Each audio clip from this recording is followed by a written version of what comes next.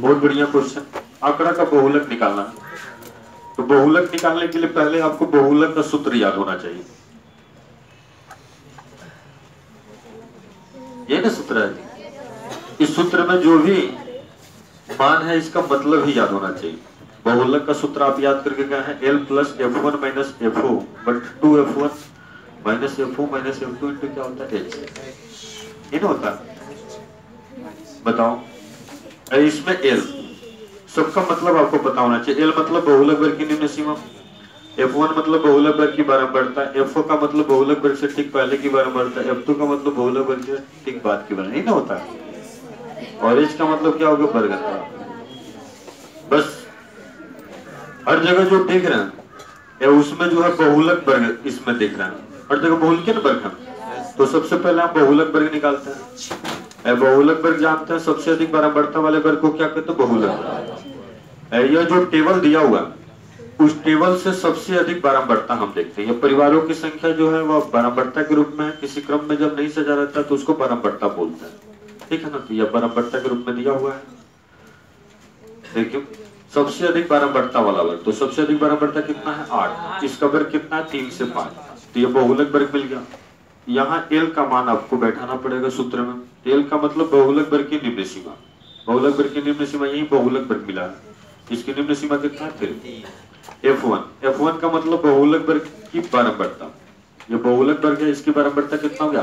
यही F one हो गया। एफ़ टू एफ़ टू का मतलब बहुलक वर्ग से ठीक पहले की बारंबारता तो बहुलक वर्ग यह हो गया, इसके ठीक पहले की बारंबारता यही जो है एफ़ हो गया। कोई दिक्कत है यहाँ तक? एफ़ टू एफ़ टू का मतलब बहुलक वर्ग के ठीक बाद की बारंबारता तो यही आपका बहुलक वर्ग है। इसके ठीक बाद की बारंबारता यही एफ़ टू हो जाएगा। एफ़ टू का मान कितना होगा? टू एच सूत्र में एच चाहिए एच का मतलब क्या होता है वर्ग तो ऊपरी सीमा में से निम्न सीमा क्या करते? घटाते हैं। फाइव में से तीन घटाएँगे, कितना होगा? टू कोई दिक्कत है? अब सूत्र जो याद करके गए हैं, यही सूत्र बैठा देंगे सूत्र में बस यही से मान बैठाना बैठाइए मान एल एल की जगह पर कितना बैठाएँगे? थ्री प्लस अपनी जगह पर रहेगा फिर देखो। F1 और F2 का मान बैठाते हैं तो F1 का मान कितना है? एट यही बैठाते हैं। माइनस F4 F4 का मान कितना सेवन यही सेवन बैठा मत सर। टू F1 F1 का मान कितना बैठाएँगे? एट बस मान सब बैठा दिए हुए वहाँ से मान बैठा इसको सरल किया कैसे सरल किया इसको समझ लीजिए। थ्री प्लस अपनी जगह पर रहेगा एट में से सेवन माइनस करेंगे वन एट टू जा सिक्सटीन एक समान चिन्ह है, जोड़ते हैं माइनस टू और सेवन जोड़ेंगे तो नाइन हो जाएगा।